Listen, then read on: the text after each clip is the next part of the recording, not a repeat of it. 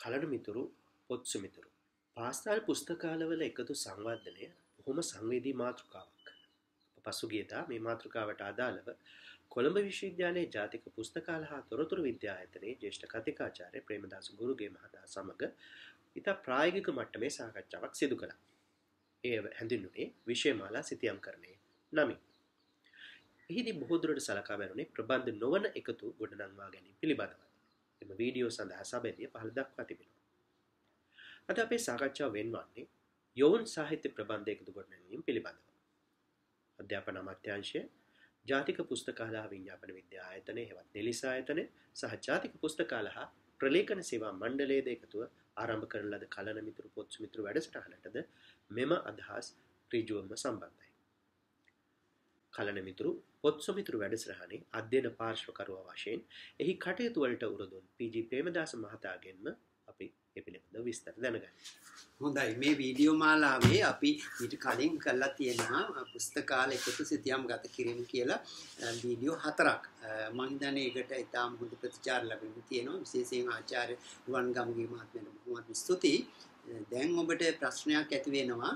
කොහොමද මේ විෂය පොත් ටිකනේ අපි සිතියම් ගත කරලා පුස්තකාල එකතුවක් විදිහට තියාගෙන තියෙන්නේ දැන් විෂය නොවන පොත් කොහොමද අපි අපේ පුස්තකාලේ ක්‍රැස් කරගන්න කියන ගැටලුව මතුවලා ඇති.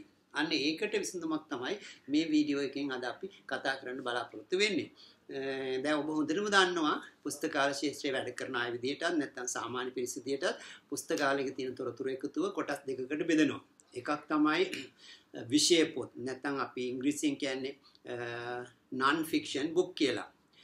දෙවෙනි වර්ගය තමයි විෂය නොවෙන පොත් ඉංග්‍රීසියෙන් කියන්නේ ෆික්ෂන් බුක් කියලා. ඒ නිසා අද කතා කරන්නේ විෂය නොවෙන පොත් නැත්නම් ෆික්ෂන් බුක්ස් කොහොමද පුස්තකාල එකතුවේ අපේ විෂය මාලාවට අදාළව නැත්නම් පාසලට අදාළව සකස් කරගන්නේ කියන එක.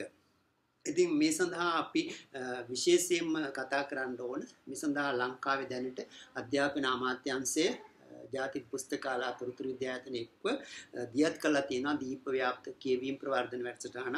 ඒ තමයි කල්න මිතුරු පොත් සමුතුරු වැඩසටහන. මම හිතන්නේ ඔබ හැමදෙනාම මේ වැඩසටහන දැන් පිළිබඳ අවබෝධයක් ඇති. මේ තියෙන උපදේශ පත්‍රිකාව මේක 2018 වර්ෂයේ ඉඳලා ලංකාවේ 6 13 පාසල් ක්‍රියාත්මක වෙන්නේ. ඉතින් මේ අවුරුද්දෙත් මේක ක්‍රියාත්මක වෙනවා. ඉතින් ඒ නිසා අපි අද කතා කරන්නේ මෙන්න මේ වැඩසටහනත් සමගාමීව කොහොමද ප්‍රබන්ධ පොත් තව විදිහකින් කිව්වොත් ෆික්ෂන් පොත් තව විදිහකින් කිව්වොත් පාසලේ තියෙන නවකතා කෙටි කතා සහ පරිවර්තන පොත් කොහොමද පාසලේ එකතුවට එක්ස්ප්‍රෙස් කරගන්න කියන එක තමයි අද කතා කරගන්න යන්නේ මේකට තව විදිහකින් කියන නමක් තමයි සාහිත්‍යය.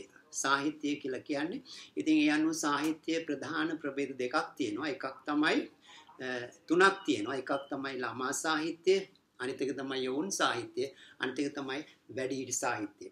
ළමා සාහිත්‍යය කියන්නේ හරියටම කඩේමක් කියන්න අමාරුයි. නමුත් සාමාන්‍යයෙන් අපි කියන්නේ ළමා සාහිත්‍යය කියලා කියන්නේ පෙර පාසලේ එක වසරට ඇතුළත ළමයාගේ ඉඳලා නව යෝන් විය එනතෙක් අවධිය අපි හඳුන්වන්නේ ළමා අවධිය කියලා. ඒ අනුව ඉස්කෝලේ එක ශ්‍රේණියට ඇතුළු වෙන ළමයා නවයවුන් බවට පත් වෙනකොට සාමාන්‍යයෙන් අපේ රටේ නම් අවුරුදු 12 13 වගේ කාලවලදි ළමයි නවයුන් වියට පත් වෙනවා. අන්න නවයුන් වියට එළඹෙන්න ප්‍රථම සහ එක ශ්‍රේණියේ ඉඳලා ළමයි ටික අපි හඳුන්වන්නේ ළමා අවධිය කියලා. ඒ අවධියට තියෙන අපි කතා පොත් හඳුන්වන්නේ ළමා සාහිත්‍ය කියලායි. යෝන් සාහිත්‍ය කියලා කියන්නේ වැඩිවියට පත් වුණාට පස්සේ නවයුන් වියට පත් වුණාට පස්සේ ඉඳලා ඉස්කෝලේ 13 වෙනි ශ්‍රේණිය දක්වා ඉන්න ළමයි ටික අපි දල වශයෙන් ගත්තොත් අපි තුමු ළමෙක් නවය උන්වයට පත් වෙන 7 වෙනි ශ්‍රේණිය ඉඳලා කියලා නම් ඒතර 7 වෙනි ශ්‍රේණිය ඉඳලා 13 වෙනි ශ්‍රේණිය දක්වා ළමයි ටික අපි හඳුන්වන්නේ යෝන් පිරිස කියලායි. ඒ නිසා ඉස්කෝලේ තියෙන ප්‍රබන්ධ පොත් වල ඔන්න ඔය කණ්ඩායම් දෙකට ගැලපෙන ප්‍රබන්ධ පොත් තමයි තියෙන්න ඕනේ. මොනවද දෙක එකක් ළමා සාහිත්‍යයට අයත් පොත් අනිත් එක යෝන් සාහිත්‍යයට අයත් පොත්.